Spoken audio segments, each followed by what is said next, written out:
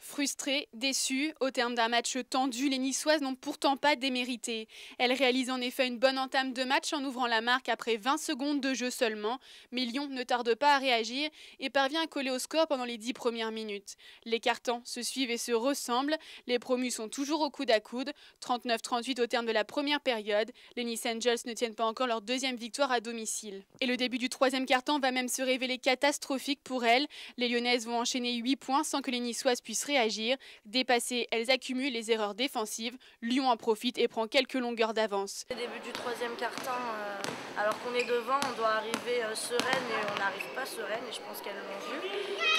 On se prend un 6 ou 8-0 qui, nous fait, qui nous fait mal. Mais c'était sans compter sur l'abnégation des joueuses du Nice Cavigal Basket. Elles parviennent à remonter au score grâce notamment à la présence de Fabienne Constant au rebond. Elle permet ainsi à ses coéquipières de s'échapper en contre, à l'image d'Anderson. À la fin de la troisième période, les deux équipes sont à égalité, 58 partout.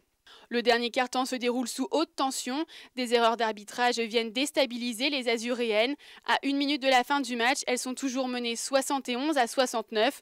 De leur côté, les Lyonnaises vont inscrire les points de la victoire. Le soutien du public et la hargne des joueuses n'aura pas suffi. Les Nice Angels s'inclinent 71 à 74. Au niveau de l'arbitrage, ça a été euh, scandaleux. Il y a eu des trucs, euh, des fautes qui à ce niveau-là, c'est juste impensable qu'on siffle pas ou qu'on siffle ça. Euh, moi, c'est quelque chose qui me dépasse. Maintenant, je me repose pas là-dessus. Je sais qu'on a, des choses à bosser et il y, a des trucs qu'on avait bossé à l'entraînement qui ne sont pas passés. Euh, on a un gros avantage, c'est que malgré les défaites, on reste solidaire et on reste euh, dans l'optique du travail. on marche tous dans le même chemin, donc on sait où on veut aller, donc on va continuer à Mais la solidarité et le travail suffiront-ils?